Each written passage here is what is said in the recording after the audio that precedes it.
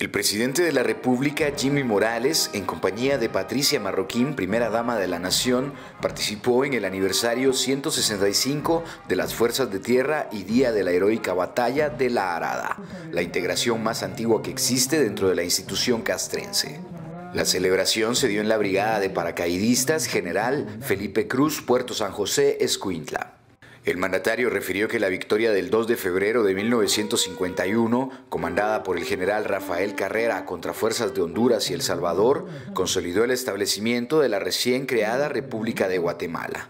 No obstante, recordó que ahora los países centroamericanos trabajan como hermanos para afrontar los problemas que en común les atañe.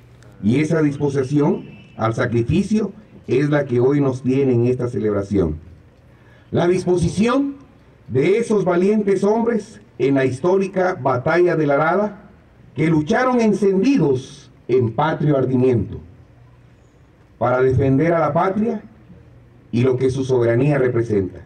Actualmente, de acuerdo con información del Ministerio de la Defensa, en tiempos de paz estas fuerzas dedican sus acciones en educación, entrenamiento, apresto estratégico, operaciones de mantenimiento de la paz y realización de misiones de apoyo humanitario interno y fuera del país.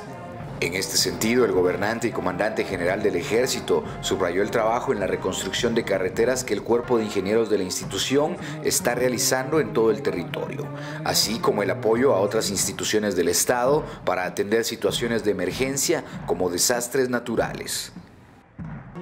Para DCATV informó Carlos Alonso.